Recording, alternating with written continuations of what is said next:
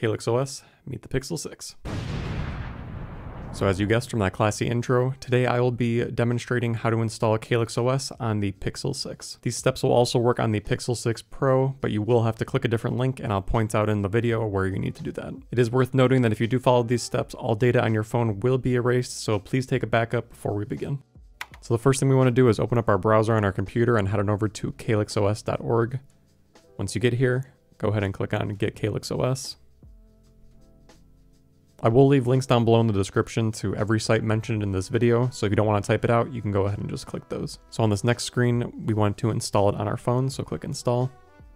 So as I mentioned earlier, these steps will work on the 6 Pro and the 6. So if you have the Pro, click the first link. If you have the regular 6, click the second one. So the steps do vary a little bit depending on which OS you're installing from. I'm going to be demonstrating this from a Mac OS machine, but if you're doing this from Windows or Linux, click the corresponding link. There are a few extra steps you need to do if you are on Windows or Linux, but the instructions are very clear and they give you step by step what you need to do. The first few changes we're going to be making all take place on our phone, so those will all be the same no matter which instructions you're following. So like I mentioned, I'm on Mac OS, so I'm going to click install for Mac OS. If we scroll down here, uh, so terminology, this just gives an overview of what all the terms mean in the guide. Go ahead and read those over. I will not be reading them to you.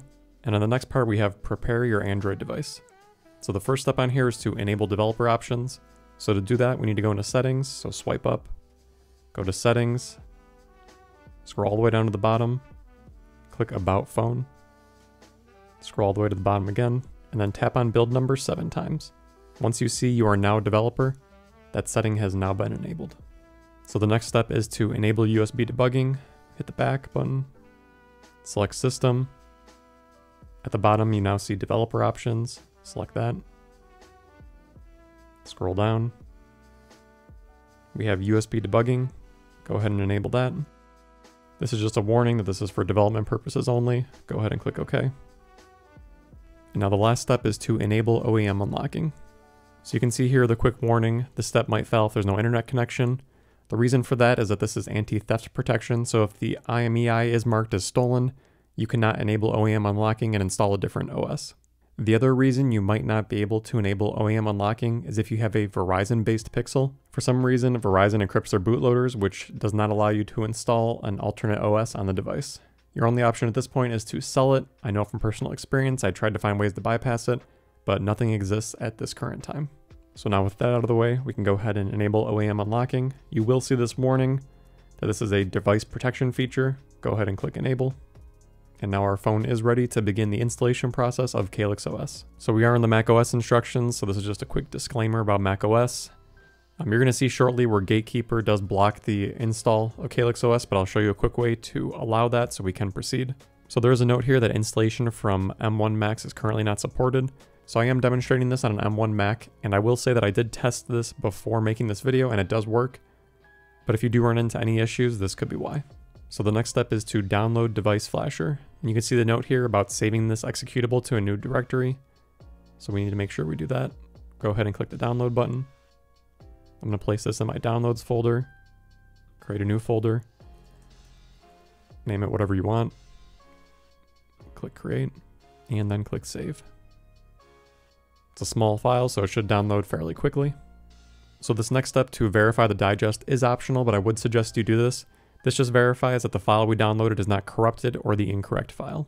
So in order to do that, go ahead and open up terminal.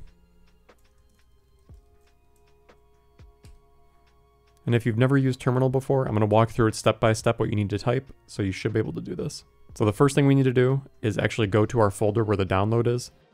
So if you type pwd which means print working directory. We can see our current folder is our user and then our username.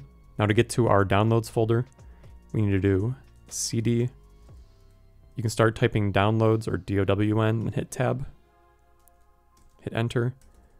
Type ls, that just lists the files in the directory. And we can see here the folder Calyx OS. That's the one we created earlier. So cd Calyx OS, enter. I'm going to type clear just to clear out the terminal. Now if we type ls one more time, here's that device flasher.darwin. So type out sha sum, just like the command says above, dash a 256, the file name, hit tab to autocomplete, hit enter, and we can see here the string matches the string that's output on our screen. So what that confirms is that we downloaded the exact file, it's not the incorrect file, and it is not corrupted at all. So now that we have the device flasher downloaded, the next step is to download the factory image. So click on download. You should be in that same Calyx OS folder you created earlier. Go ahead and click save. This one is 1.6 gigabytes, so this will take a little bit longer to download depending on your internet connection. It is worth mentioning here that this image will only work on the Pixel 6, so if you have the Pixel 6 Pro and you don't see that here, go back and click the other link.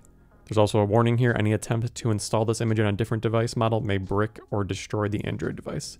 So make sure you're downloading the correct one. So once the download completes, we do have the optional step again of verifying the digest. So to do that, open up terminal, you should still be in the same folder, so there's no need to change directories. So again, we're going to type SHA sum dash A 256. Start typing the name of the file and hit tab and then hit enter. This is a larger file, so it does take a little bit longer for that to calculate. So that took about 45 seconds to complete, but we can see that the output matches what's listed on calyxos.org. So the last optional step is to verify the image signature. I'm not going to demonstrate that in this video because it requires you to install additional software in your machine, but if you do want to complete that, they have the instructions listed if you follow this link. So congratulations if you made it this far, we are now ready to install Calyx OS on our Pixel 6. Screen recording is not supported during the install process, so I'm going to go ahead and switch my main camera to the phone screen so you can see exactly what's going on. And we're back. So step one is connect the USB cable between the computer and the Android device. So go ahead and connect your USB cable.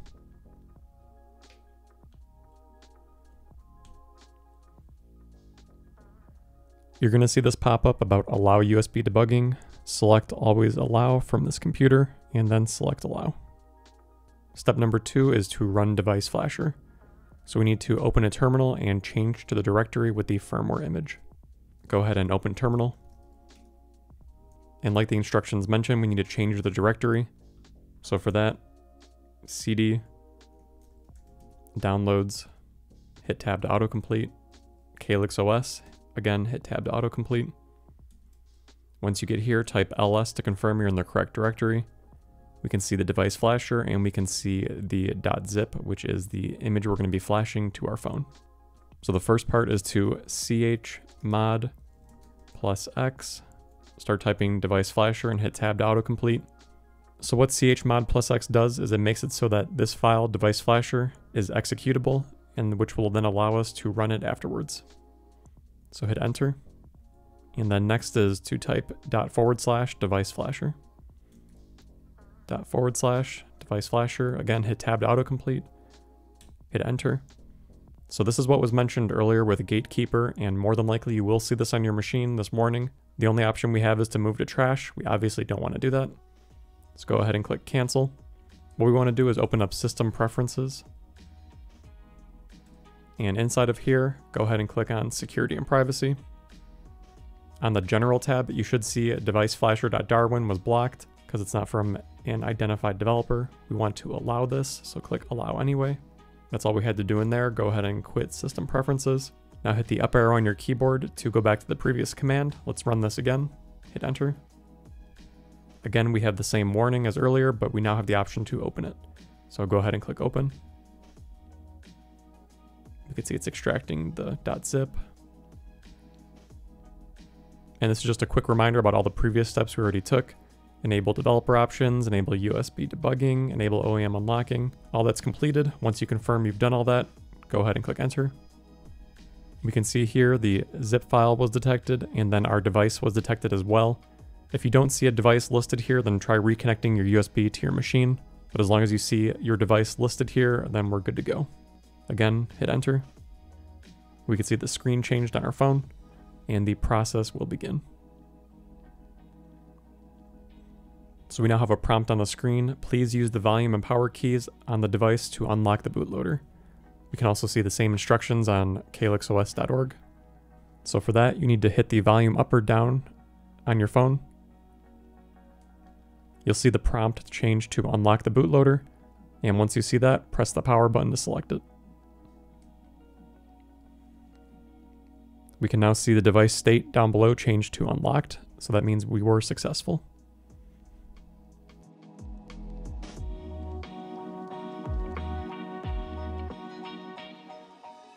So now the install has completed. We can see again, please use the volume and power keys on the device to lock the bootloader. So hit the volume up or down till it changes to lock the bootloader. Press the power button. And you should now see device state locked. There's a couple other settings we need to verify, so let's boot up the phone and take a look.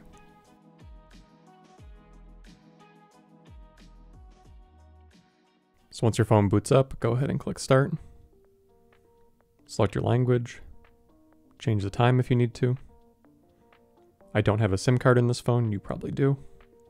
I'm going to skip connecting to Wi-Fi for now. Location services, disable or leave them enabled. Fingerprint, you should set this up, but I'm going to skip it. Again, pin code, you should set this up, but I'm going to skip it. This next option lets you enable microG. This is the open source Google services compatibility that comes bundled with Calyx OS. If you installed Calyx OS, you should leave this enabled. I don't see a reason to disable it. If you're installing Calyx OS, then more than likely you're using it because it has this bundled with it, so go ahead and leave that enabled. Click Next. This next screen gives you some optional additional apps to install. I'm going to skip all of these for now, but at the very least I would suggest you install Aurora Store. Once you make your selection, scroll down to the bottom, click Next. I don't have any apps or data to restore, but if you had a backup, you can go ahead and restore it now. And then click Start. So now that we're at the home screen, like I mentioned, there's a couple settings we have to verify. So go ahead and swipe up, go into Settings, scroll down to About Phone, select About Phone, scroll down to the bottom, tap Build Number seven times until you see you are now a developer. Click back, go into System, select Developer Options, and we want to confirm OEM unlocking is disabled, and we want to confirm USB debugging is disabled. Once you confirm that, disable developer options, click back, and you are all set to start using Calyx OS.